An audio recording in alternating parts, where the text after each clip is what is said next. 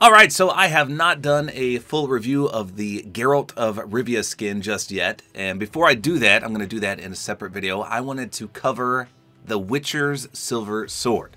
So first and foremost, this is one of the hardest items to obtain in Fortnite history but at the same time, it's free. So I did two videos covering how to get this. I'll link both of these in the description as well as a pinned comment. But first you have to sign up for the School of Llama quests, and it's all based on this website, but you do the challenges in-game.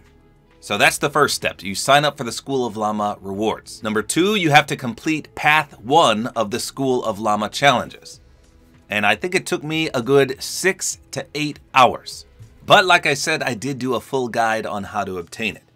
So that's what this video is about. So if you have the Battle Pass, you can get this sword right here, the Witcher's Steel Sword, because Geralt is technically the quote secret skin of Chapter 4 Season 1. So this one is unlockable by challenges from the Battle Pass. And again, this one right here, the Witcher's Silver Sword, is from the School of Llama challenges. So he has two pickaxes. This one says basic but effective. This one says especially made for monsters.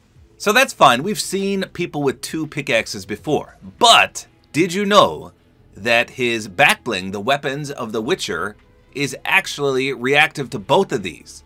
And that's a first in Fortnite. I don't think we've ever had a backbling that interacts with two separate items before. So I'll prove it to you, but as you can see, the backbling does hold two swords, and people were awfully confused at first. Because when you do the challenges here, you can see he's got that compound bow and both swords, but you only get this sword. And this one is interactable with this.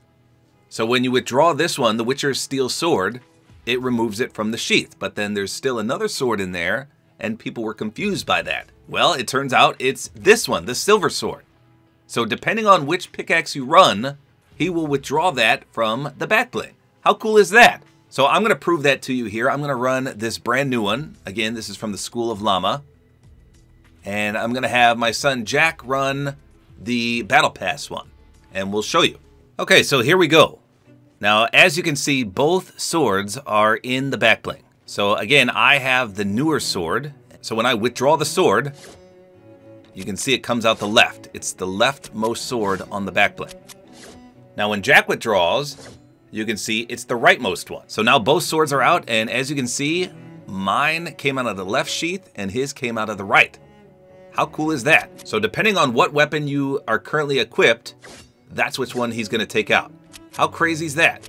The first interactable backbling with two items. I really, really enjoy this. Pretty nice touch. Now, if only we had the compound bow. So here's the normal pickaxe. And there's no markings on it. It's just the silver sword. It does have the gleam that goes up it. But compared to this one, this one's way better. You can see the gold markings on it. And it still has the gleam as well.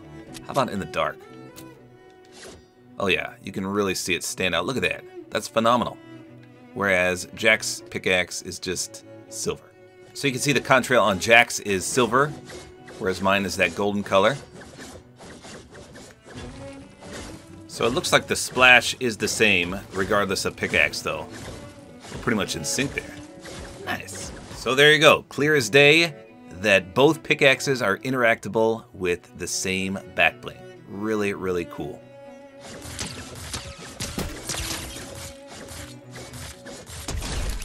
Unfortunately, it does not appear to be reactive at all. It just has these nice markings on it, and that's it.